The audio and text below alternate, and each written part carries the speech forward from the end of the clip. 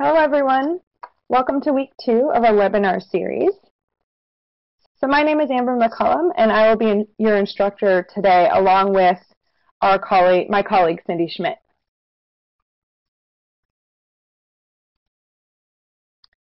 Just as a, a review, uh, for this course we have two sessions per week, each Wednesday, each, sorry, each Thursday. Session A will be at 1 to 2.30 p.m. Eastern Time in the U.S and session B will be at 10 to 11.30 p.m. Eastern Time in the U.S. Please make sure that you only sign up for and attend one of these session times. We have created two sessions to reach out to our broader international audience. Um, these sessions will be at the same time each week. We will have lectures with many guest speakers who are experts in the field, and if there's time uh, at the end, we will have Q&A session as well.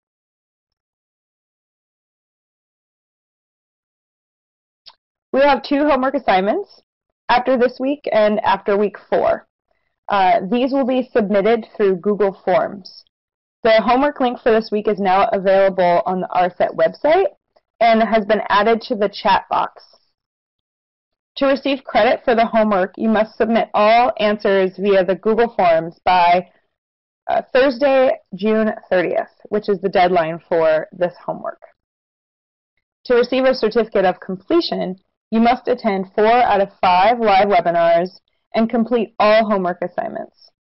It takes some time to process these certificates, um, so you can expect to receive them two to three months after the completion of our course from Marinus Martens. There's one prerequisite for this course. You should know and understand the fundamentals of remote sensing. You can watch our on-demand course that's listed here which includes two one-hour recorded webinars that you can watch on your own time. As mentioned previously, you can access all the course materials on the ARSET website here. Each week you'll be able to find a PDF of the presentation, a link to view the recording of each webinar, and a link to any of the homework assignments. Please note that in order to view the recordings, Online, you must register your information. This helps us keep track of who's, who is viewing the recordings. Once you register, you will automatically be taken to view the recording online. Here's an overview of the course agenda. This week we will be discussing sensors and products for terrestrial systems and generation of activity data. This week, we will first give you a bit more uh, background about the ARSET program. We will discuss activity data and how it's derived. We will introduce remote sensing data sources that are often used for carbon monitoring. We will discuss pre-processing image requirements to ensure data quality. We'll provide general techniques for image classification and change detection will provide considerations for National Forest Monitoring System sustainability and guide you through NASA's Carbon Map Mapper beta website. If there's time, we will also have um, time for questions and answers at the end. Since we did not provide an overview of the ARSET program during week one, we wanted to briefly discuss the program here. The Applied Remote Sensing Training Program, or ARSET, is part of NASA's Applied Sciences program. Our goal is to increase the utility of NASA Earth science data for applied resource management professionals, policymaker, and re regulatory agencies. We conduct online and in-person trainings in a variety of application areas. Our webinars consist of multi-week sessions about a specific topic that can be a combination of lectures, live demos or tools, and tutorials. ARSET operates with a gradual learning approach, where we often conduct the basic introductory webinars, followed by more in-depth in advanced webinars or in-person trainings. Our in-person trainings are generally more in-depth with a fewer number of participants. They include case studies and participant projects that are relevant to the focused audience. These trainings require collaboration with another organization that can provide the meeting and lab space. We're also working to increase our train the trainer activities, where we train specific targeted individuals to conduct their own remote sensing trainings. ARSET conducts trainings in the focus areas of air quality, water resources, land management, wildfires, and disasters. The ARSET team is located at multiple NASA centers and consists of scientists with backgrounds specific to the topic area that they teach. We have varied levels of training that can range from basic introductions to advanced, where participants are downloading and processing data to meet their needs. ARSET has completed over 60 trainings since it began in 2009 and has reached thousands of participants globally. This figure on the right shows the geographic distribution of participating organizations in the U.S. and globally. Our online trainings are in high demand with our international audience especially in regions where there's little in situ data or resources available. ARSET is a resource for connecting applied tools in remote sensing to end users for enhanced decision making. Okay, so jumping back into the materials for today, what are activity data and why are they useful for carbon monitoring?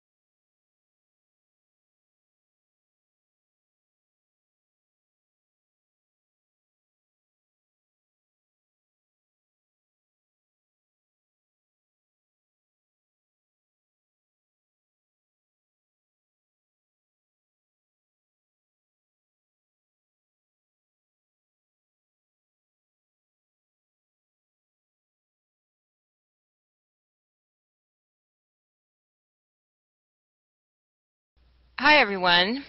So I'm going to start discussing some pre-processing data requirements and then we'll talk a little bit about uh, image uh, classification and change detection. So many types of satellite data need to be pre-processed before they can be used for land cover mapping or detecting change. Pre-processing is necessary because it allows satellite observations over different time periods to be compared to the, each other, and that's the only way that you can do change detection. I will be discussing two main types of pre-processing steps, geometric correction, which corrects for angle of view of the satellite sensor and for high relief terrain, and radiometric correction, which corrects for di different atmospheric conditions between images from two different time periods. Geometric correction is very important for detecting change over time using imagery from different dates. Firstly, images need to be aligned or co-registered with each other. If they are not aligned with each other, then areas of land use change will be overestimated because the change detection analysis will detect change where none has occurred. Secondly, image distortion due to the scanner, platform, or the terrain must be corrected using an orthorectification process. These types of distortions are more apparent in aerial photos than in satellite imagery, primarily because the satellite is a more stable platform. Orthorectification requires the use of a digital elevation model with specialized processing software. Most satellite imagery has already been geometrically corrected and projected to a geographic reference system, but it's always good to check. The pixel values of an image are dependent on the viewing geometry of the satellite, the location of the sun, and specific weather and atmospheric conditions. To be able to compare images from the same region, but different time periods, the images need to be corrected for these different conditions. There are many methods of doing this, but essentially every method converts raw pixel values to surface reflectance.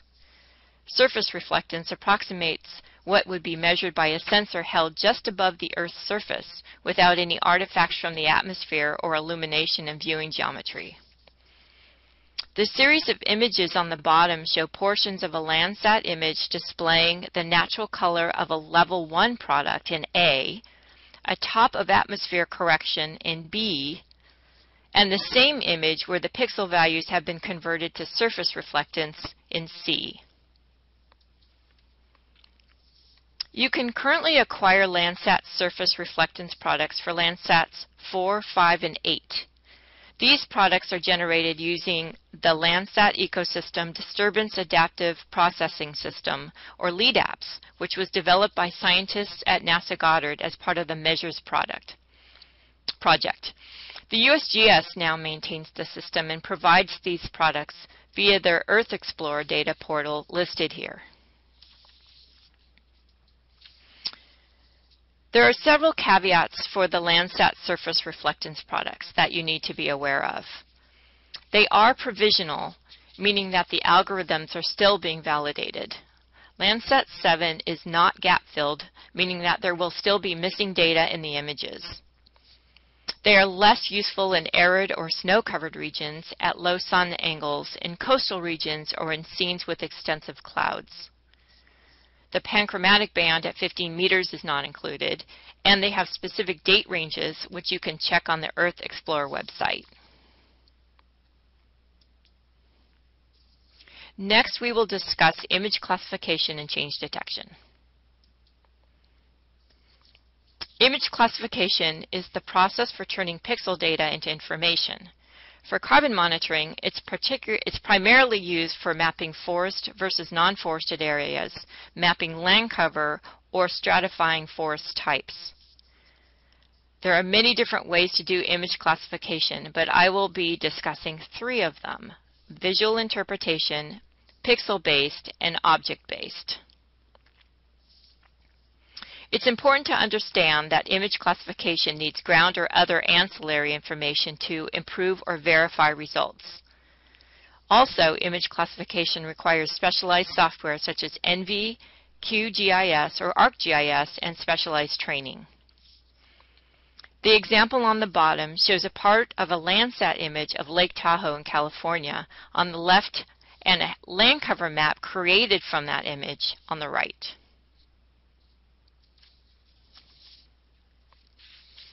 As I just mentioned, the process of image classification turns pixel values into information that's useful for carbon monitoring.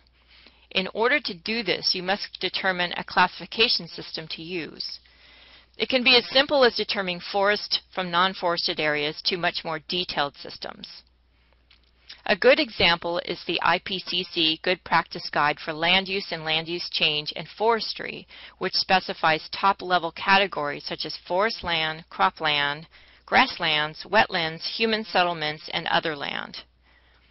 Determining which classi classification system to use will depend on the program needs and the characteristics of the region. As part of the UN REDD program, this land cover map of Panama on the bottom was released on April 2014. The map is intended to inform decision makers about the current status of forest resources and will serve as the baseline for monitoring deforestation and forest degradation. The map includes 32 classes for forest cover and land use such as forests, forest plantations, specific agricultural crops, and cultural uses.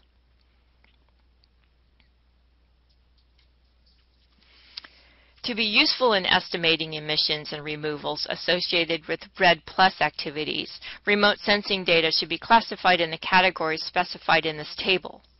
These classes can be typically derived from moderate resolution imagery from Landsat and the Sentinel instruments. The forest non-forest class is typically used for basic trend analysis and, and can be used as the basis for other products. This type of map shows the extent of all forest types within a country. The minimum mapping unit, or smallest area to be mapped for all maps, should be less than half a hectare. The temporal frequ frequency that the map should be updated is annually. The forest stratification map, as I mentioned previously, identifies forest types with common biomass densities. This ultimately provides more accurate carbon estimates. The suggested primary stratification is primary forest, modified natural forest, and planted forest. The All Land Use Categories map can be used for national baseline mapping. Countries can decide what level of detail they prefer, but should consider using the UN FAO land cover classification system. This table shows a summary of the types of remote sensing used for different map products. Coarse resolution data, such as MODIS, are only used operationally for forest stratification. Medium and high resolution data are used operationally for all map products. L-band radar is provisionally used for forest, non-forest mapping and are pre-operational for the other two map products. C-band radar is still in the research and development stage. X-band radar is not currently used and LIDAR is occasionally used. There are many different ways to classify imagery, but almost all can be categorized into two approaches, pixel-based and object-based. In the, the pixel-based approaches, each pixel is grouped into a spectrally similar class. These approaches are most useful where there are multiple changes in land use within a short period of time, and they are best suited when there is wall-to-wall -wall data coverage and time series consistency at the pixel level is required. Object-based approaches partitions an image into groups of pixels that are spectrally similar and spatially adjacent. Boundaries of pixel groups delineate ground objects in much the same way a human analyst would do based on its shape, tone, and texture. This process is called segmentation. These, these kinds of images can be easier for an analyst to interpret. This approach is also used on radar imagery to reduce speckle. It's especially useful for high spatial resolution imagery because pixel-based approaches tend to be very noisy. The images below show the visual differences between the two approaches on the left here, it's a little arrow, it's the pixel-based approach, and on the right over here, you can see the same image that has been segmented. So this is the segmented image right here. Um, and then that segmented image has been classified here on the far right.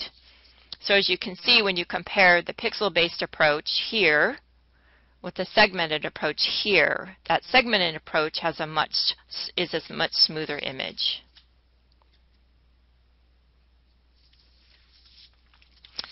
Two different methods are typically used to create land cover maps.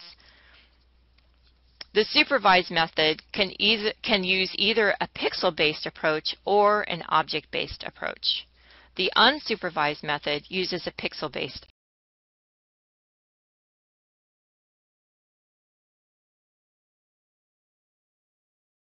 cover types that are called training areas. These areas are then used to define the statistical parameters of classification algorithms. The algorithm then automatically identifies and labels all pixels or segments that are statist statistically similar to the training data.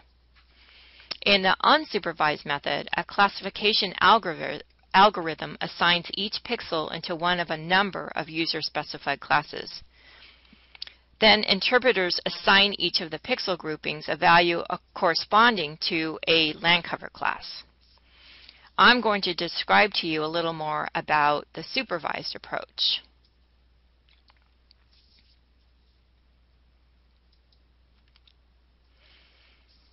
A supervised classification method, method requires the analyst to select training areas where they know what's on the ground.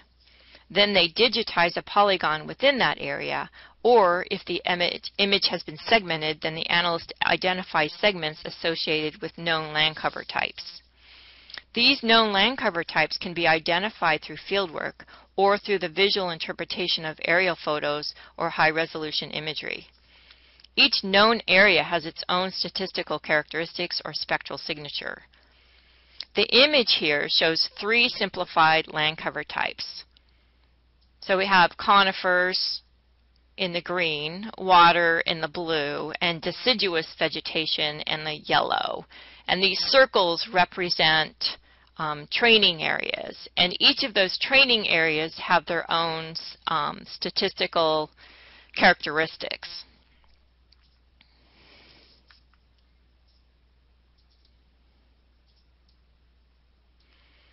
The spectral signatures from the training areas are then used to categorize each pixel or each segment in the image, resulting in the entire image being classified. So that's specified here. Each of these spectral signatures are then applied to the entire image, so every pixel in this image right here is assigned one of these three categories depending on its own spectral signature.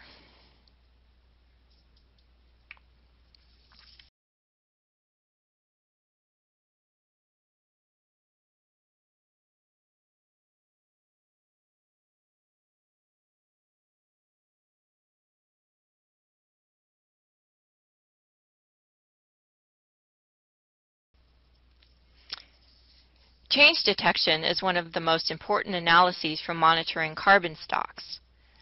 Many activities that cause degradation of carbon stocks are detectable by satellite imagery such as tree harvesting and wildfire.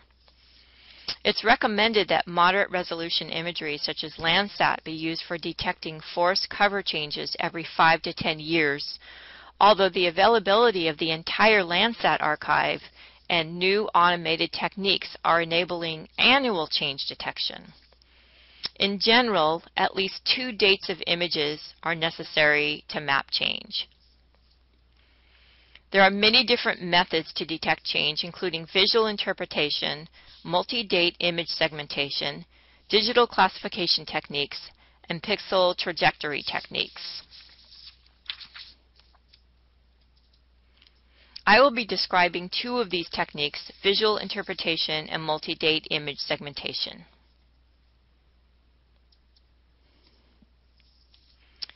Visual interpretation involves the delineation of change on a computer screen as opposed to delineating on a paper map.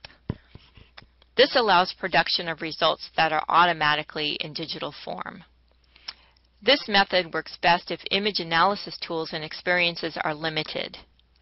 The images on the right show how deforestation in Peru between July 2013 and February 2015 was delineated. Using GIS software to do the delineation enables easier quantification of that change. In the multi-date segmentation approach, objects are defined from the whole set of spectral bands using all sequential images together. So you put all the images from each of the dates all together into one file. It, it relies on spatial, spectral, and temporal information to delineate objects. Segmentation for delineating image objects reduces the processing time of image analysis. The delineation provided by this approach is not only more rapid and automatic, but also finer than what could be achieved using a manual approach. It's repeatable and therefore more objective than a visual delineation by an analyst. Using multi-date segmentations rather than a pair of individual segmentations results in changed areas delineated as separate segments. A typical multi-date segmentation process includes first conducting image segmentation on image pairs, second, selecting training areas, third, conducting a supervised clustering of individual images, and lastly, doing a visual verification of the final product and potential editing.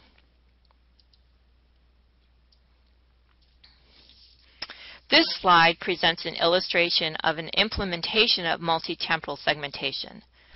Note that in this approach, areas where land cover has changed over the observation period will form separate segments.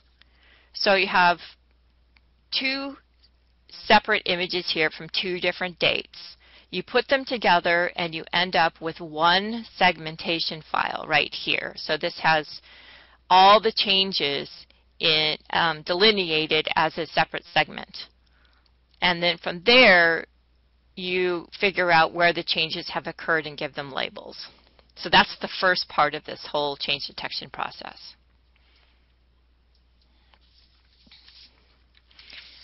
The second part is after the segmentation is complete, it is recommended that two supervised object classifications be applied separately on the two multi-date images instead of applying them together because two separate land classifications are much easier to produce in a supervised step than a direct classification of change traje tra trajectories.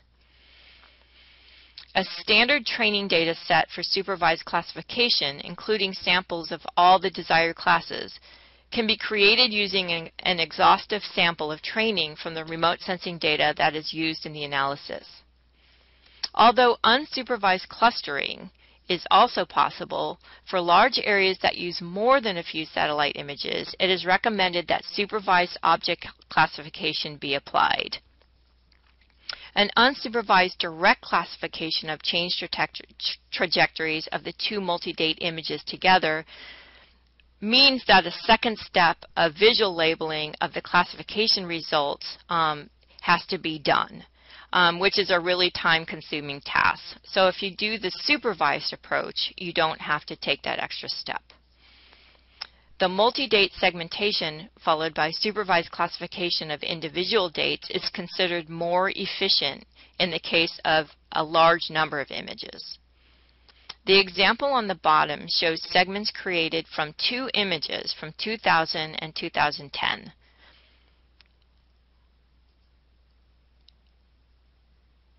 B shows the classification that is done on just the 2000 image based on the supervised signatures from the segmented image.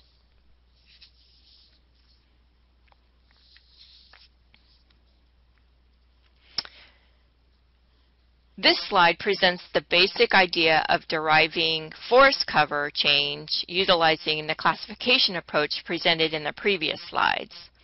Utilizing the multi-temporal segments, each epoch image, in this case 2001 and 2005, is separately classified. The final classifications are then overlaid and a change matrix is created. It's important to highlight that due to the multi-temporal classification, the segment borders match perfectly in the two images and that the change areas are outlined as separate segments.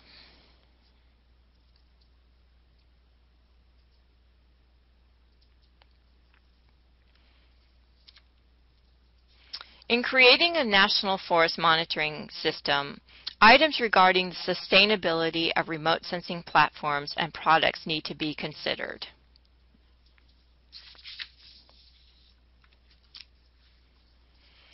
First of all, it's important to understand the longevity of the satellite mission providing the data that is underlying activity data generation. For example, after the scanline corrector for Landsat 7 sensor failed, it was important to understand when Landsat 8 would be launched. And now it's important to understand if and when Landsat 9 will be launched. Right now, it's scheduled to launch in 2023. But what happens if Landsat 8 fails? What would be the backup to acquiring your activity data?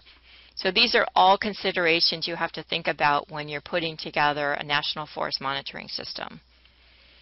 It's also important to make sure that consistent processing methods are used to produce activity data. Lastly, to provide transparency and ability to track processing steps, it's very important to archive all imagery and derived products as well as document the steps taken to produce those products.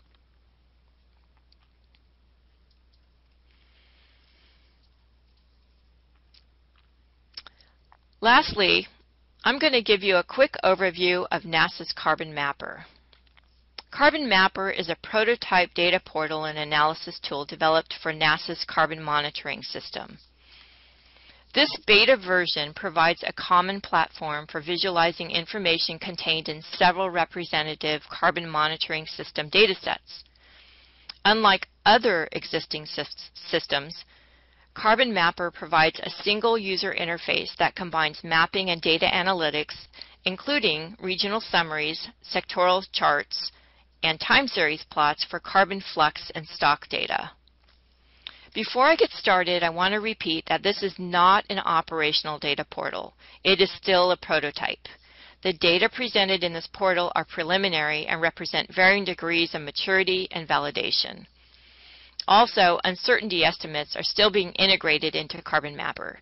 The current uncertainty estimates are intended to provide representative examples. There are some release notes that you need to read before you use Carbon Mapper located on the website listed here.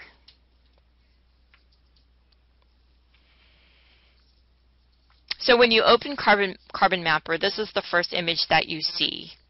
It's the Global Forest Carbon Stocks data for 2005. The carbon mapper is broken into three view types, map, bar chart, and time series, and we'll go through a few of those. We will start by going over the map view. On the top left is a zoom button, and you can pan the map by dragging with your mouse. The top right shows you the date of the data set you are currently visualizing. Note that not all data sets are available for all dates or all temporal resolutions. If you click on Annual, you will get a drop-down menu to choose specific months. If you click on the year, you will get a drop-down menu that show different years. For now, we're going to keep it at annual 2005. The Active Datasets box shows which layers you are viewing. In this case, you are looking at the coastlines, borders, and roads overlay, the land-water map as a base map, and the above-ground biomass global forest carbon stocks data. You can drag to reorder the, the data layers. To get more information about each data set, you can click on the triangle to the left of the name. The top slider adjusts, which is located here, the top slider here adjusts the dataset's opacity. You can hover over the color bar, which is here, to see the value range associated with each color. You can also use the slider beneath the color bar to mask out certain color ranges on the map, which is right here. If you click on the I, so this I right there, for the data set, you will get more information about that data set. It will tell you which version you are viewing. So this is the information up here. The, the principal investigator, a URL for the data set, and a summary of the data.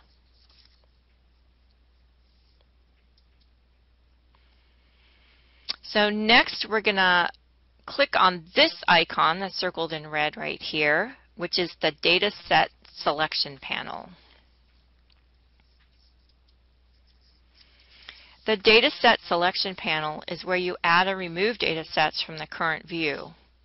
To turn on a dataset, just click on its title. Datasets are grouped according to their types and species. For more information on either, click on the I, which is located here. So for example, when you select flux, this is the list of currently available data sets. It also lists the years available for each data set, as you can see here.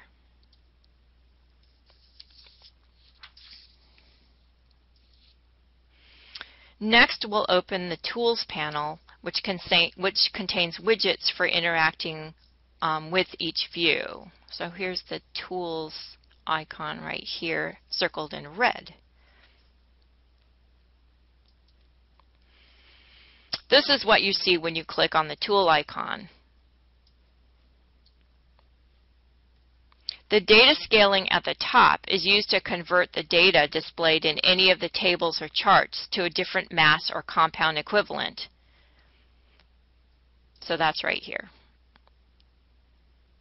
The Data Examination widget lets you switch between two ways to explore data values on the map. With point data selected, you can click on a pixel on the map to retrieve pixel, county, state, and country values. And then you can use the box histogram here to create a quick look histogram of data over a region. So now we're going to go from the map view to the bar chart view down here. So when you click on that, you see a bar chart for global carbon totals for 2005 for the world. So that's what this bar chart is right here. One of the things you can do is compare subregions. So we're going to click on Compare Subregions right here. The result is a chart that shows global carbon for 2005 by country. You can see on the left, you can sort or display the data in various ways. So right here, you can see you can sort by name, by total, or display by value, etc. Over here, you can hover over a data point to display a pop-up with relevant values. You can see the example for India here. This icon, circled in red, will open the Data Discovery panel. So we'll do that now. The Data Discovery panel consists of pre-configured questions that can be answered using Carbon Mapper. So you see a whole list of questions here that are all pre-configured. So now we'll go back to the map view and explore some of the data discovery questions. So we're back at map view and we're going to explore the question that's right here. How do methane and carbon dioxide emissions from fires compare using the IPCC Assessment Report 5 Global Warming Potential Scales in the North American Boreal Region?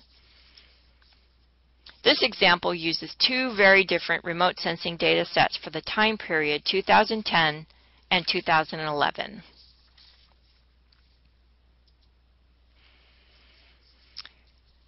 This chart compares the methane emissions over North America derived from Japan's Greenhouse Gases Observing Satellite, or GOSAT, with monthly biomass burning flux from NASA's MOPITT instrument.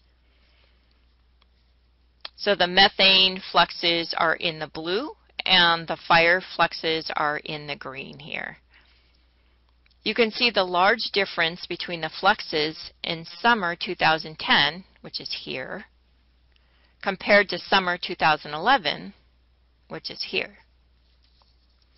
So now we're going to switch back to the map view.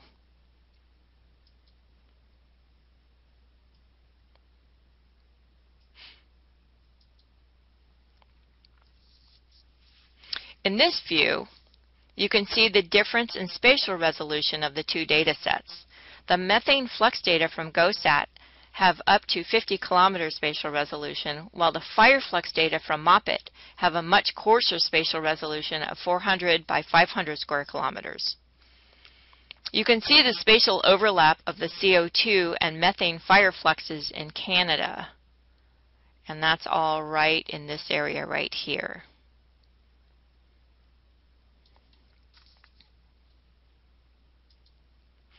To get more information about these data sets, you can click on the eye right here. And then the information shows up on this side over here, North American methane flux.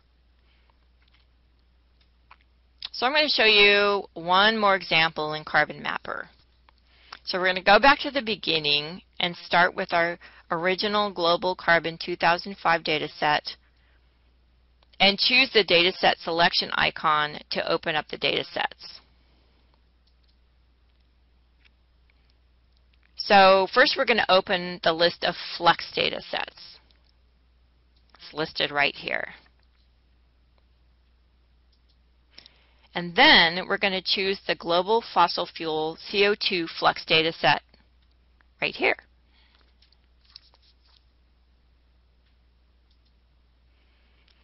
So when you select that, now you're going to see a list of data available in this particular category. FFDAS stands for Fossil Fuel Data Assimilation System. FFDAS is developed at Purdue University and is a data product that estimates CO2 emissions from the com combustion of fossil fuels for the years 1997 to 2011. So now we're going to click on FFDAS totals. So when you do that, the map of FFDAS totals for North America appears on the right.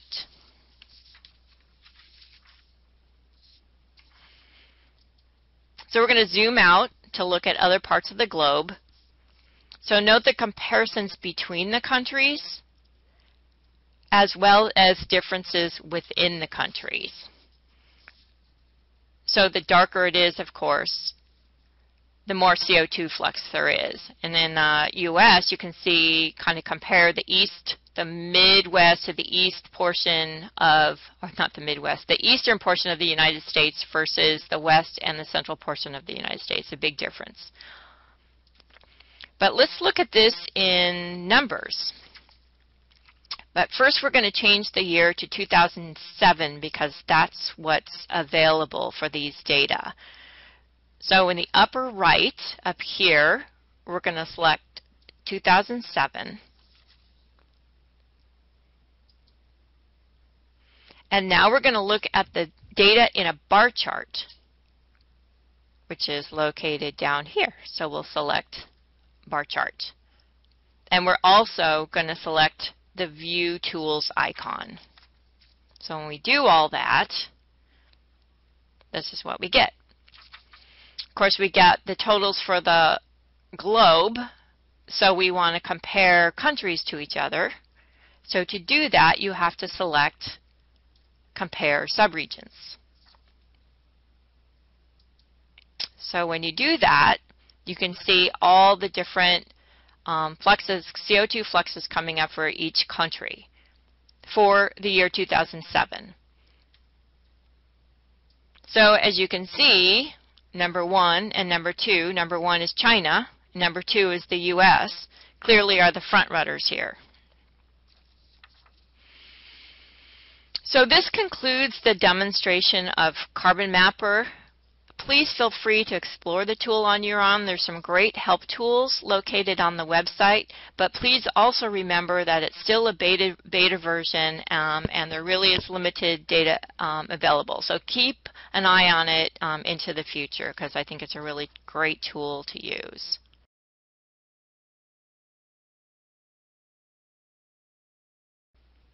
So at this point, um, we're finished for our webinar for this week, so we have a few minutes. We have actually a lot of time for questions. Um, and please feel free to email us with any follow-up questions you might have. Um, here are our contact emails, um, mine, Amber's, and then we, Jenny Hewson from Silva Carbon. Um, and then if you have any general ARSET questions, you can contact Anna Prados um, at the email address listed there. And again, our ARSET website is there where you can get all the materials for this webinar as well as all the other webinars that we offer. So at this point, I think we'll go ahead and open it up for questions. And I'm going to see if Jenny Hewson is online to help us answer any questions. If we can't answer your questions, um, I think what we'll do is document the questions, and then post something um, on our website a little bit later.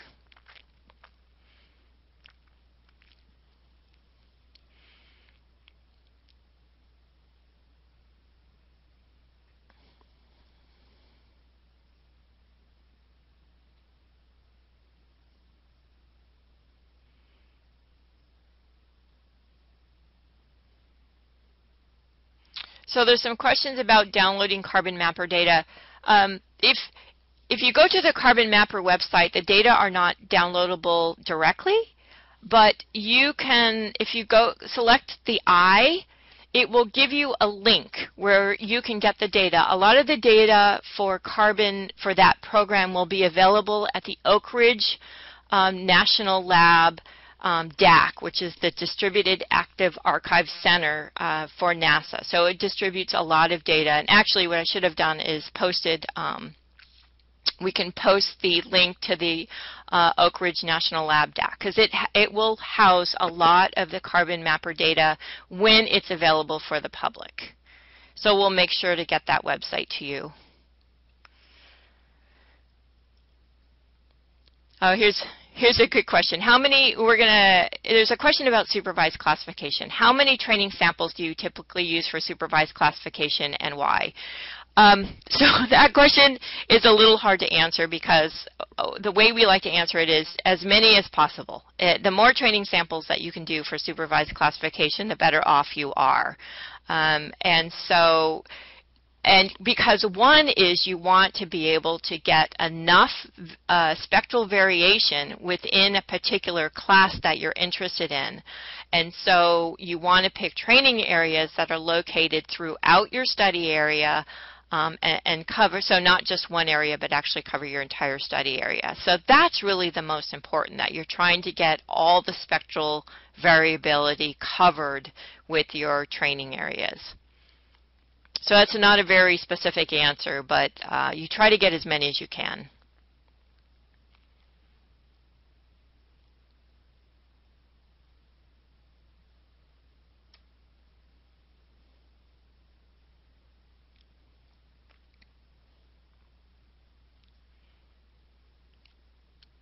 So somebody asked about the legend in the Carbon Mapper website. Uh, so on the right-hand side, um, when you click on the little triangle next to the to the uh, data set, more information come slides down includes a, a legend for the data that you see on the viewer.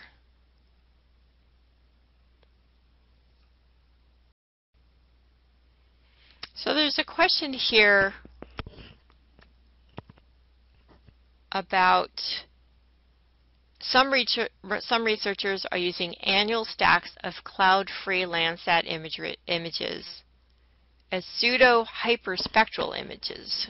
Um, so if you're only using Landsat imagery, it's probably not hyperspectral. Um, it's certainly hypertemporal uh, images, so I'm not quite sure what that means there. Um, then they classify that image, um, the process is repeated annually. Do you think this approach is better than using one Landsat only? Um, my feeling is the more, if you use multiple Landsat images, that can only help you um, because you're capturing temporal changes in the vegetation, if there if there are any. Um, so sometimes using Landsat imagery from different times of the year will actually help you with your classification. It's a it's a more work, but it will help you as opposed to one Landsat image only. Oh, good, you agreed. Multi-temporal, not hyperspectral. and just a reminder, there is homework this week. Amber just posted the link again. So for those of you interested in getting the certificate, please make sure you do the homework.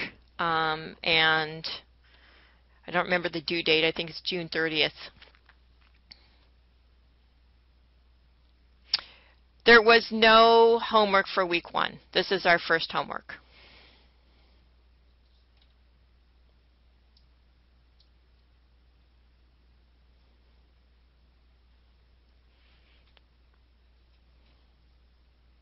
Is it possible, here's a question, is it possible to classify single tree in high resolution image using object-based analysis? And what are the prerequisites? Um, so classifying a single tree is dependent on the spatial resolution of your imagery. So um, if you have, if you consider high resolution as, you know, five meters or something, you're probably not going to get a single tree. So the spatial resolution of your imagery will determine whether you can classify single tree. It would have to be very, very high spatial resolution, um, but you could do it um, using object-based analysis. There's a question, is only Landsat images useful for carbon monitoring? Well, I was hoping that um, through our session today that we made it clear that Landsat is probably most prevalent for carbon monitoring. Um, we haven't talked much about the Sentinel satellites at all, um, the European satellites, but they are also um, useful for carbon monitoring.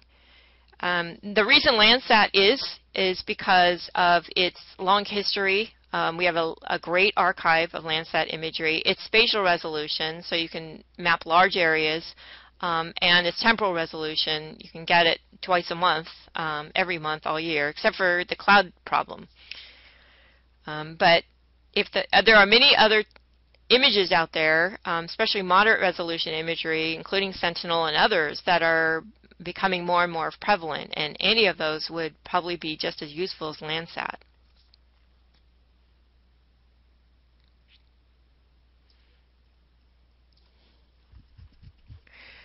So there's a question about the advantage of spectral angle mapping technique over the maximum likelihood techniques uh, with respect to classification. So we didn't get into the details of the algorithms for classification, um, and and it's not uh, we don't have actually the time to discuss it here. Um, that so if I think we'll take that offline um, and get the answer uh, answer for you offline. I think maybe what we can do is is post that question and the answer in a separate document that we'll put on the uh, on the website.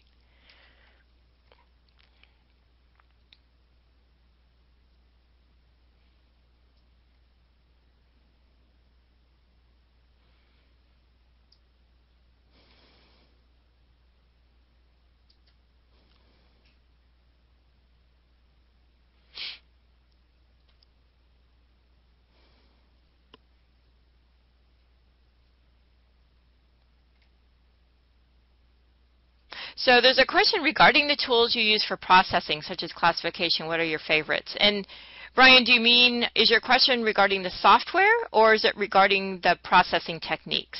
So if you could clarify, that would be great. Everyone has their own preference, by the way. so I know there's several people who participated in the webinar today who have quite a bit of image processing um, experience. And so everyone will have their own opinion as to which software package as well as which processing technique works best for them. Software itself. Okay, so the question is what software? Um, I'm going to speak for our organization here. We have um, some commercial software called ENVI, um, which is very powerful. Uh, and so ENVI is one package you can use. We are starting to do some more advanced webinar series using an open source software called QGIS. Um, and QGIS is also becoming very powerful, uh, one, because it's open source, uh, and two, a lot of people are contributing to writing modules that will do a lot of what we're discussing um, today. Um, and for example, we gave an advanced webinar series earlier in the year on how to use QGIS to do uh, NDVI, that kind of thing. Um, so that's becoming a really uh, nice, powerful package.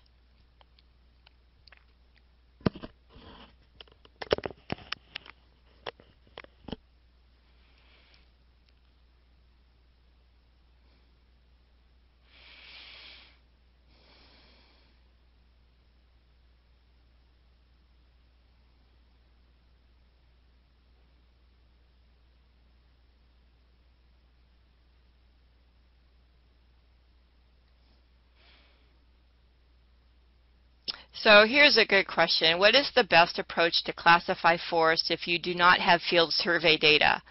Um, so the example would be separate degraded forest from reforestation from natural forest. So with remote sensing data and remote sensing processes, you really need to have some kind of ground verification data. Uh, field survey data is definitely uh, the best choice you can have. In absence of that, you could potentially use high resolution either satellite data, so something like um, data from Google Earth or something like that, or aerial photographs if you happen to have those. So something that's fairly high resolution, um, and then an interpreter that really knows that area. Uh, it's really hard to do work with Landsat imagery if you don't have that ground information, and I can't stress that enough.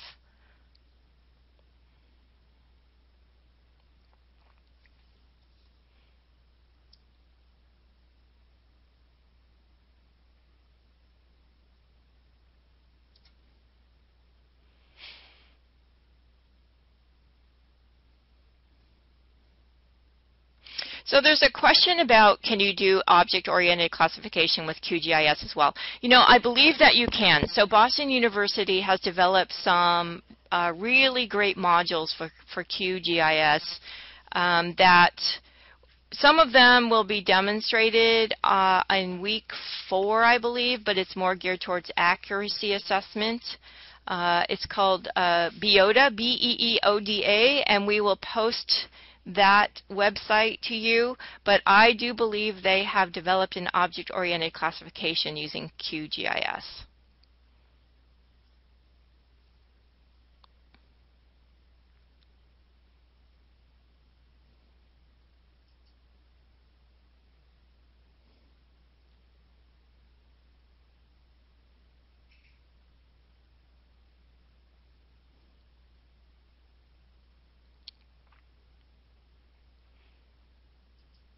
Oh, great. Thanks. Amber just posted the BEEODA website.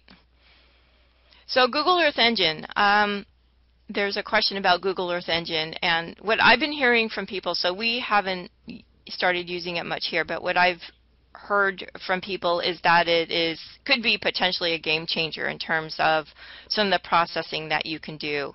There's actually um, a Google Earth Engine Summit going on right now here in the San Francisco Bay Area, which is where we're located, um, and I'm sure a lot of these issues are being discussed there. So stay tuned on that because I think we're going to be potentially focusing some future webinars on the use of Google Earth Engine.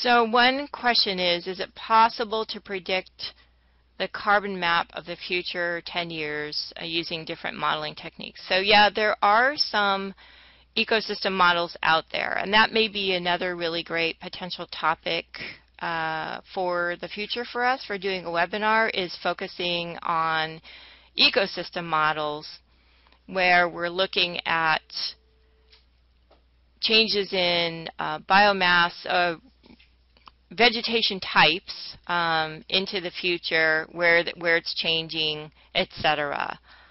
Uh, there's a, there's a lot of folks out there. There's some challenges in doing that, and, and some challenges in offering it as a webinar series in particular. Um, so that's uh, something we sort of discussed.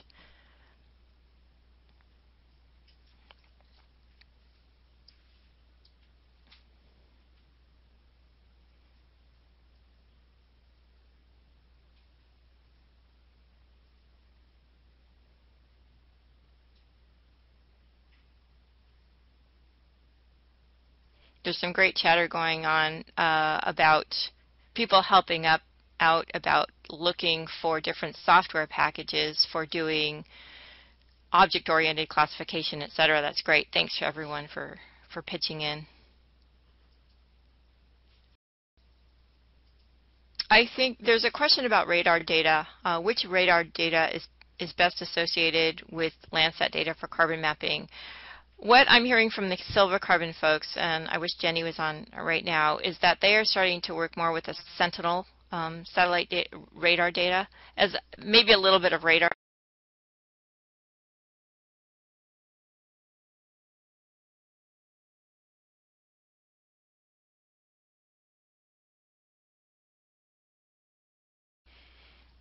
Okay, I think the questions are starting to die down now, so I think we'll go ahead and close off for today. I want to thank everyone for participating and listening to our webinar this week. And we look forward to having you um, participate next week, the next three weeks. So again, if you have any questions, please don't hesitate to email us. We'll try to answer the best we can. And again, I think what we'll do uh, for this particular webinar series is, is document a lot of the questions that are coming up and try to get answers to them and then post them in a document um, on our website.